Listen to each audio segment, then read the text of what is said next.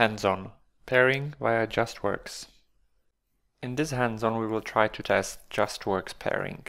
When mobile phone initiates the pairing, it will indicate in the pairing feature exchange that it supports both keyboard and the display. So to select JustWorks, the WB needs to indicate that it supports no input and no output. And we can make this configuration straight from the CubeMX and regenerate the project. On GitHub, you will see that as a separate branch from the BLE template project. So let's go back to the CubeMX project and let's make a few adjustments in the WPAN middleware. So first, let's enable pairing. And then in the configuration tab, we'll configure the I.O. capabilities to no input, no output.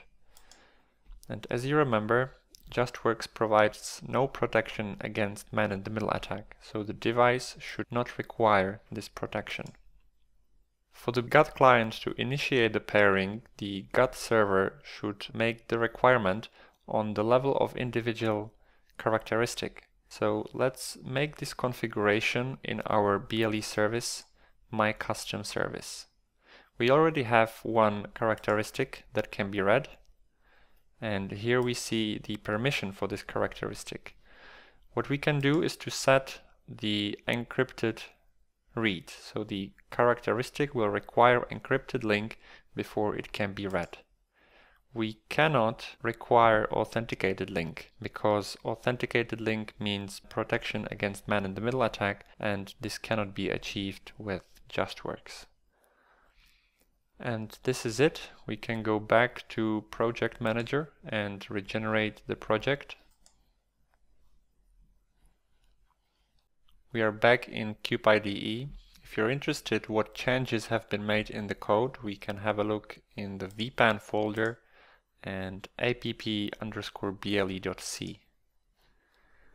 And on line 666, you see the I.O. capabilities have been set here and the man-in-the-middle protection is configured here. So this macro definition have been changed based on the configuration in CubeMX. So the project is good as it is. We can just compile it and flash it to the target.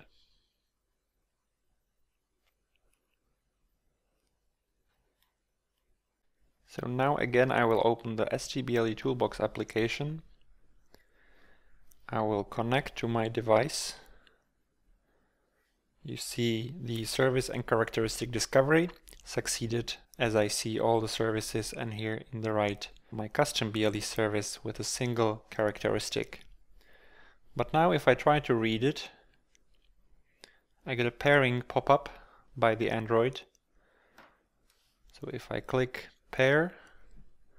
The pairing seems to be successful. The link is now encrypted and the characteristic value was read successfully. In the traces, uh, you see there is an event generated by the BLE stack and that is pairing complete with a status 0, which means there is no error.